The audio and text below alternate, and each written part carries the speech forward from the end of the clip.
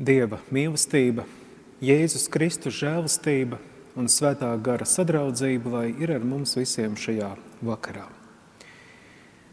Šajā reizē ieklausīsimies divos lasījumos no svētajiem rakstiem. Un pirmais ir no vecās derības, no mācītāja grāmatas trešās nodaļas. Viss savā reizē un savs laiks ik lietai zem debes.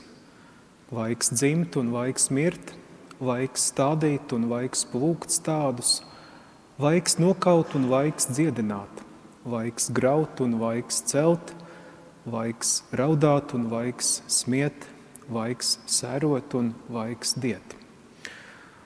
Un otrs lasījums mazliet neierasts šim baznīcas gadu laikam no Mata evaņģēlīja pirmās nodaļas. Bet Jēzus Kristus piedzimšana notika tā. Viņa māte Marija bija sadarināta ar Jāzepu. Pirms tie sāka dzīvot kopā, viņa bija ieņēmusi bērnu no svētā gara. Viņas vīrs Jāzeps, būdams taisns un negribēdams viņai celt nesvabu, gribēja no tās sveps šķirties. Kad viņš par to domāja, redzi kunga eņģēlis viņam parādījās sapnī un sacīja – Jāzep, Dāvida dēls, nebīsties ņemt pie sevis Mariju, savu sievu. Tas, kas viņā ieņemts, ir no svētā gara. Viņa dzemdēs dēlu, un tu nosaugsi viņa, viņu vārdā Jēzus, jo viņš izglāba savu tautu no grēkiem. Bet tas viss ir noticis, vai piepildītos, ko kungs caur pravieti ir runājis. Redzi, jaunava taps grūta un dzemdēs dēlu, un viņu saugs vārdā Immanuēls, tūkojumā Dievs ir ar mums. Jāzeps uzmodies no miega, darīja tā, kā kunga eņģēlis viņam bija pavēlējis, un viņš ņēma savu sievu pie sevis. Mīļais debesu Tēvs, mēs Tev pateicamies par Tavu vārdu un lūdzam svētī mūsu Tava vārda patiesībā, jo Tavs vārds bija, ir un notiek kā mūžīga patiesība un dzīvība. Āmen!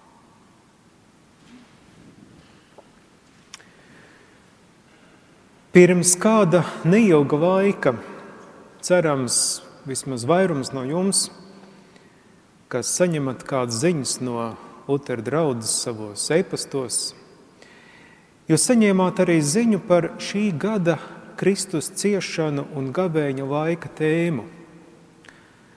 Šajā gadā, atcerēsimies, mēs skatāmies jau vairākus gadus mazliet līdzīgi kā to dara Lutāņu baznīca Vācijā, gabēņu laikā, rīkojot akcijas septiņas nedēļas bez.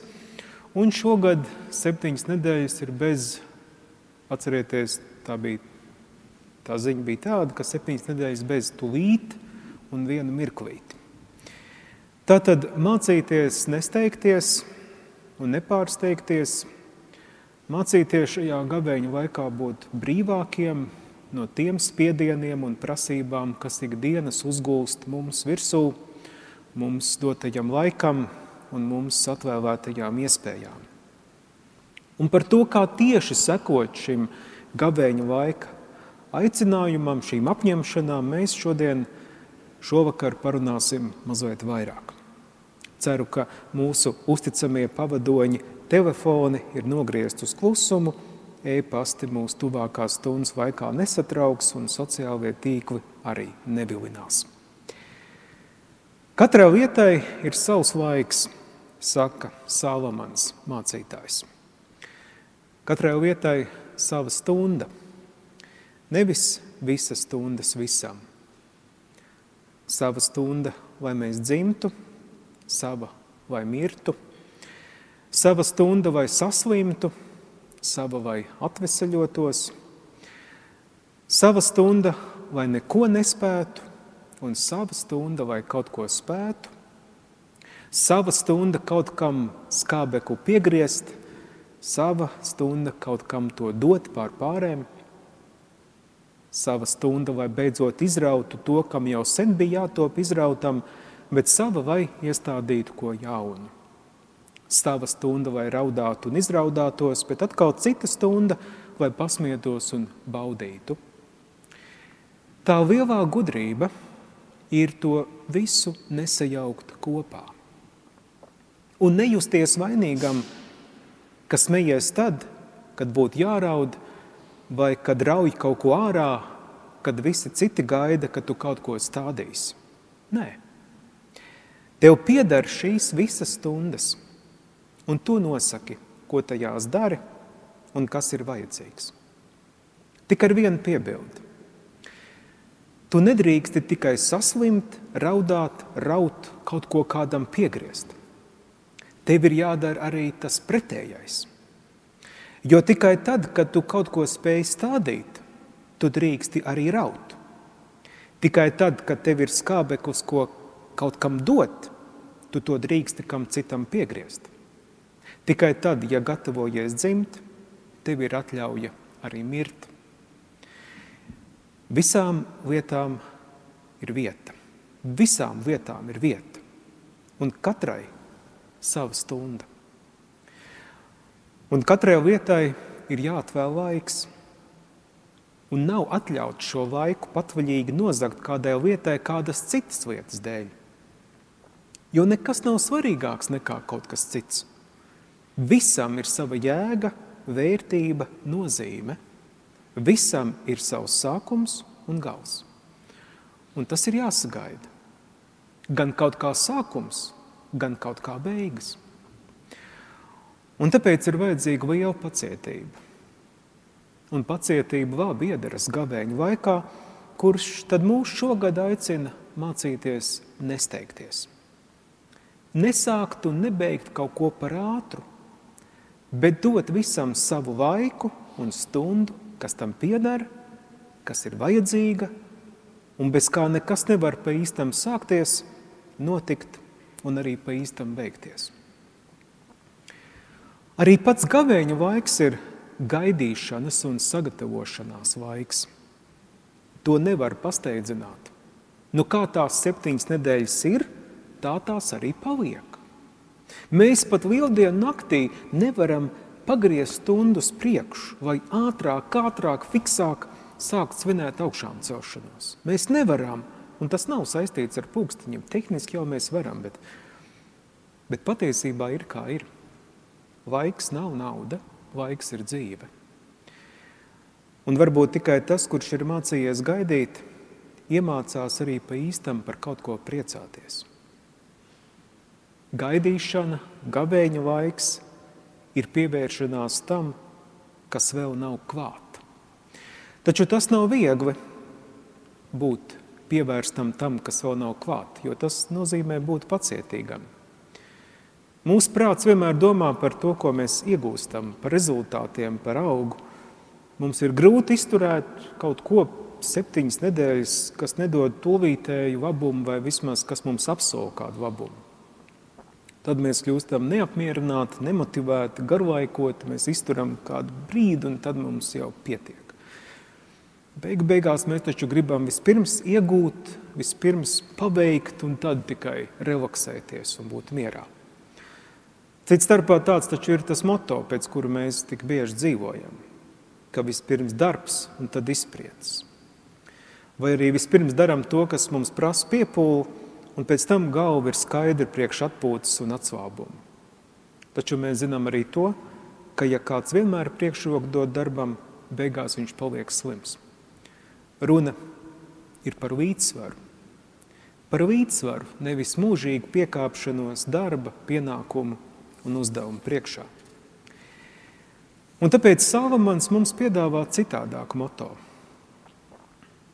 Un tas ir ļoti svarīgs teikums ko viņš mums saka.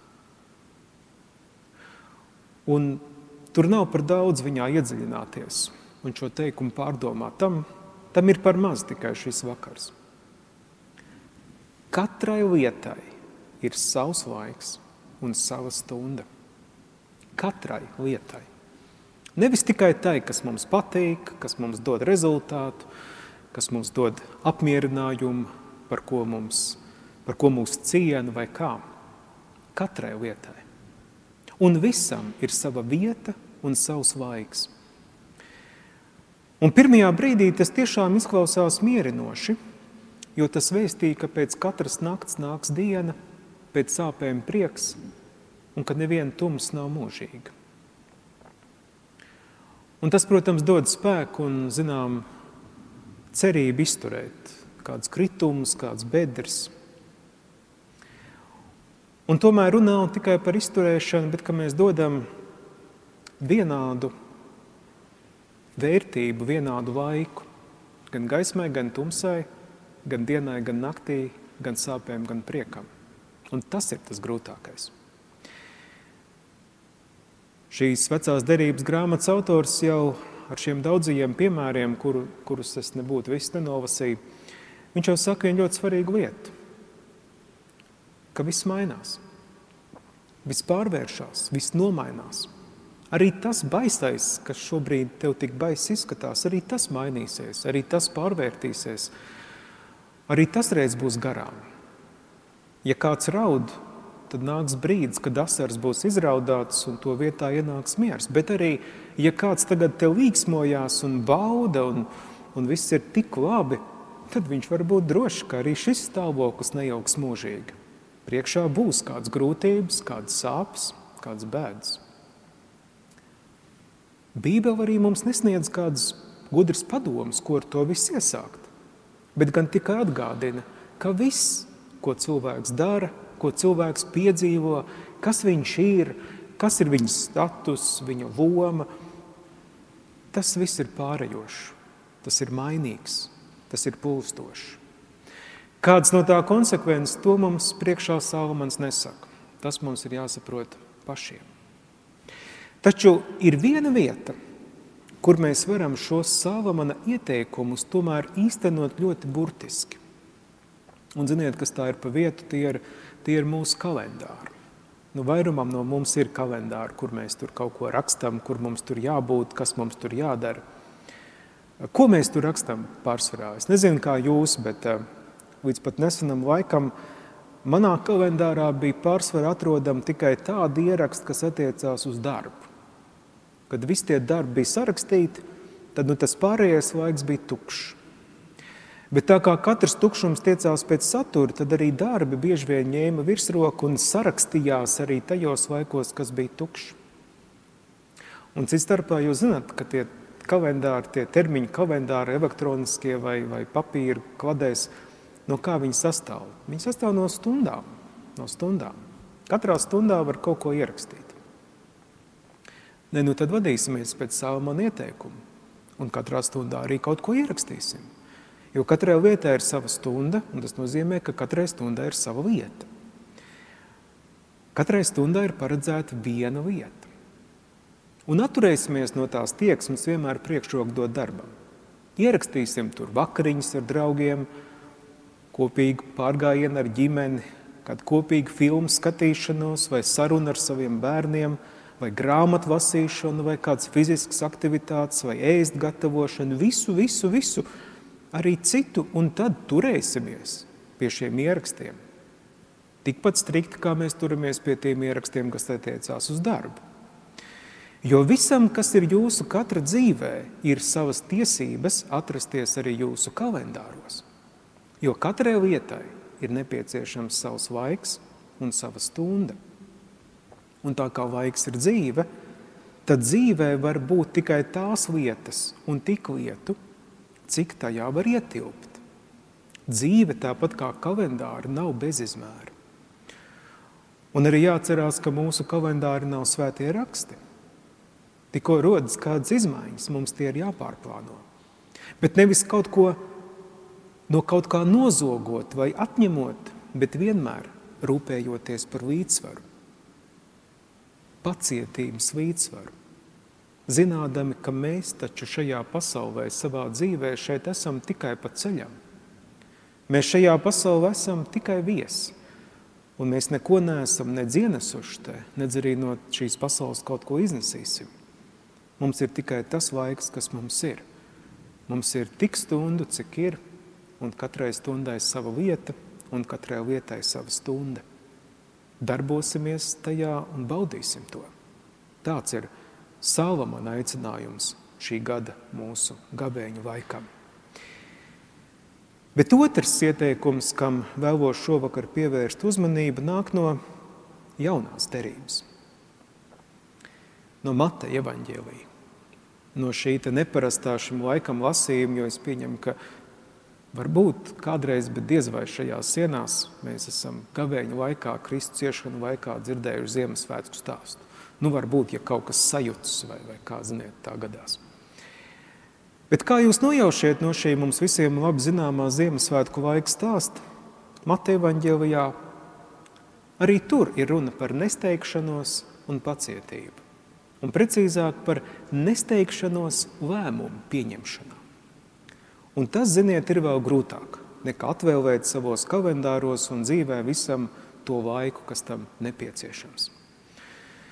Jo tas mūsu laiks ir ļoti ātrs. Mēs šajā mūsu ātrajā laikā taču negribam būt tūļas. Mums ir jāizvem tūlīt, citādi kāds cits izlems mūsu vietā, un mēs paliksim nopakaļ. Pavisam nesen bija kādā nedaudz tālākā valstī, kur brauc daudz ar auto. Bija jābrauc pa svešiem ceļiem, autostrādēm, jābrauc pēc norādēm, pēc navigācijas – Un nevienmēr spēju laikā norēģēt tieši kurā joslā tev ir jāatrodās, lai aizbraukt pareizajā virzienā. Dažas reizes bija jāgriežās no ceļa, bet es vairs nevarēju tur pagriezties. Es biju pārāk tālu no tā pagrieziena, es biju kaut kur, kaut kur pa daudz pa kreisi. Un tas ļoti pārdzīvoju ka es nepaspēju, ka es nevarēju, es neredzēju. Man bija jāpieņem lēmums tūlīt, un, un es nespēju, un aizbraucu taisni. Bet nu, kas? Kāpēc pārdzīvot? Kāpēc satraukties? Nu, labi, tagad 10, 15 minūtes ir vairāk jābrauc, jānotērē pārdesmit centi vairāk benzīnā, bet ko pārdzīvot? Kāpēc tik ļoti satraukties? Bet tad, kad mēs nespējam pieņemt to ātrā lēmumu, mēs automātiski sajūtamies slikti. Jo mēs gribam būt aši, zibenīgi, spontāni. Tā taču var ātri tikt uz priekšu. Nav labi vilkties citiem nopakaļ. Ļoti bieži mēs dzirdam, ka spontanitāte ir kaut kas ļoti labs. Izšķirties par kaut ko spontānu, tas ir ļoti pareizi. Un ko tur gaidīt? Jāņem tas, kas ir. Ko tur vilkt garumā? Bet nu, tās vienīgās šaubas rodas, ja apdomājam, ka katram lēmumam ir savas konsekvences. Un jo lielākas konsekvences, jo ir svarīgāk, lai lēmums tiktu pieņemts pēc iespējas pareizāks, nevis kādā afekta stāvoklī. Nevelkti luksaforos ir ne tikai zaļās un sarkanās, bet arī dzeltenās gaismas. Un kas ir pirmais, ko mēs darām? Tie no mums, kas brauc ar auto, ko mēs darām, kad iekšā, priekšā iedegās dzeltenais. Vai mēs spiežam grīdā, vai mēs tomēr atraujam kāju no gāzes pedāļa? Tas ir labs jautājums, ko sev pajautāt. Jo arī tur ir jāizlemj uzreiz. Varbūt mums ir vairāk jāmācās apstāties pie dzeltenā. Ne jau tikai uz ceļa, bet arī dzīvē. Dzeltenā gaisma ir svarīga, citādi tā tur nedegtu. Un tā vienmēr ir pirms sarkanās vai pirms zaļās. Tā ir nepieciešama, lai visiem dotu laiku saprast, ko tagad darīt un kas tagad būs. Gavēņa laiks ir dzeltenās gaismas laiks, jo dzīve nav tikai zaļais vilnis. Mums ir jārēķinās arī ar citām krāsām, arī ar tām, kas liek mums apstāties un nogaidīt, padomāt, sagatavoties, apskatīties. Taču nogaidīšana ir vēl tikai puslieta, jo mērķis jau nav kaut ko gaidīt. Mērķis nav lēmumu nepieņemt, mērķis nav neizšķirties par kaut ko, bet gan tieši lēmumu pieņemt, bet pareizu lēmumu. Tur ir atšķirība. Šis nogaidīšanas mērķis ir taisni kā reiz pievērsties beidzot pie īstam lēmuma jēgai, konsekvencēm, saturam un nozīmei. Un tāpēc arī stāsts par Jāzepu Mateja evaņģēlijā. Mēs dzirdējām, ka viņš izvēlējās nerīkoties afekta vadīts. Viņš apstājās un nogaidīja vienu nakti. Un šajā nogaidīšanas laikā Jā, nu atcerēsimies, ka Jāzeps jau arī tajā naktī nebija iepriekš pasūtījis eņģeļa vizīti, Viņš pat nerēķinās pat ne ar kaut ko tādu, kas viņa lēmumu varētu izmainīt. Šajā nogaidīšanas laikā notiek neticamais. Bet varbūt tieši tāpēc mūsu dzīves ir bieži tik seklas, tik paredzamas, tik bieži primitīvas, ka mēs nedodam šādu nogaidīšanas laiku kādiem eņģeļiem, kas mums līdzās gaida uz savu laiku un savu stundu. Jo varbūt arī eņģeļiem ir savs laiks mūsu dzīvēs. Laiks, kurā caur viņiem mēs saprotam vairāk nekā mēs saprotam un ieraugam dziļāk nekā ieraugam. Es nedomāju, ka Jāzeps bija kāds super dievbijīgs cilvēks, kuram bija iesist roku uz eņģeļiem, par kuriem viņam viss bija skaidrs, ka viņš tikai to vien darīja, ka visu vaicā eņģeļiem un tiem paklausīja tā, kā mēs paklausām zaļajai gaismai lukseforā. Nē, Dažkārt tev ir vienkārši jāturās uzticēties sev un savai izpratnē par lietām. Paklausīt eņģelim nozīmē ielikt sevi iekavās un ieklausīties kāda cita balsī. Ir teikts, ka viņš paklausīja eņģelim, bet nav teikts, cik ilgi vēl pēc pamošanās viņš domāja, ko darīt. Viņš bija saņēmis impulsu, viņš bija redzējis sapni, viņš bija dzirdējis vēst. Taču izlemt beigu beigās viņam vajadzēja pašam. Neviens cits jau nevarēja viņa vietā to izdarīt. Eņģeļi mums tikai dod iespēju pavērt citu apvārsni, noliek mūs uz kāda cita skatu punkta, varbūt paceļ mūs kādā virsotnē. Jāzepam bija jāieklausās sevī. Un tā nav ieklausīšanās tikai savos instinktos un afektos, kā tādā impulsīvā pirkumā pie kases, kur parasti noliktas dažas preces, uz kurām beigās uzķerties. Kā to darīt? Nu, varbūt tā. Ka tad, kad mums ir jāpieņem kāds lēmums, par kuru neesam droši, vispirms ļausim par to izšķirties eņģelim, vai ko mēs ar to saprastu. Kad mēs būsim ieklausījušies eņģeļa balsī, tad mums būs monētas divas puses - mūsējā un eņģeļa. Tad metīsim to monētu gaisā un rūpīgi ielūkosimies tajā risinājumā, kuru krītošā monēta izvēlēsies. Raudzīsimies šajā izvēlē, kas vēl nebūs mūsējā, un jautāsim, ko šī izvēle mums saka mūsu prātam, mūsu jūtām, mūsu dzīvei Mēs neesam piekauti monētas izvēlei. Kas tur nokritīs? Mums ir jāpieņem pašiem savus lēmumus. Mēs varam izvēlēties citādāk. Bet vispirms padomāsim, ko mums saka monētas izvēle, kā mēs ar to jūtamies. Ja viss mūsos saka, ka tas nav pareizi, griežam to monētu otrādi. Kā tad ir ar šo lēmumu? Un ja arī tas nav labi, varbūt jāsāk viss no sākuma. Eņģeļi jau arī nav nemaldīgi, un monētas ir tikai monētas.